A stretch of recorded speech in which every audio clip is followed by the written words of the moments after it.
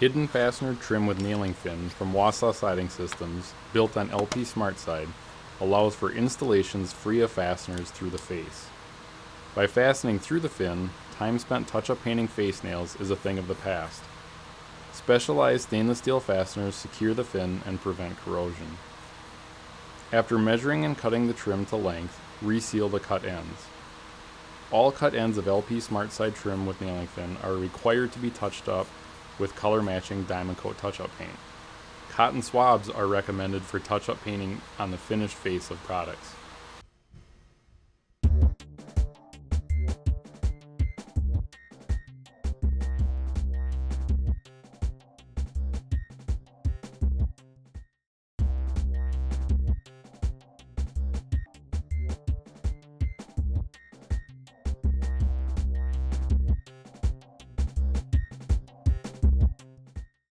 Push the corner trim into the corner and slide into position. Check for plumb and fasten by filling every third hole alternating sides as you nail. Hand-driven galvanized roofing nails are recommended for installing hidden fastener trims.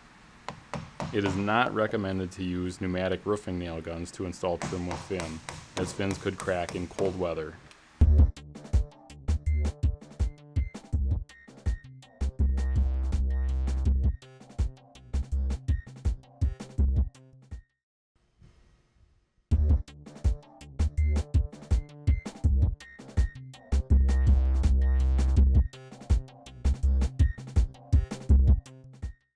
Nail heads should seat firmly to the face of the trim, but not be overdriven to distort or damage the fin surface. When installing corners over up to 1 inch rigid foam sheathing, care must be taken not to drive nails so hard as to compress the foam and distort the fin. Again, pneumatic nail guns are not recommended for over foam installations.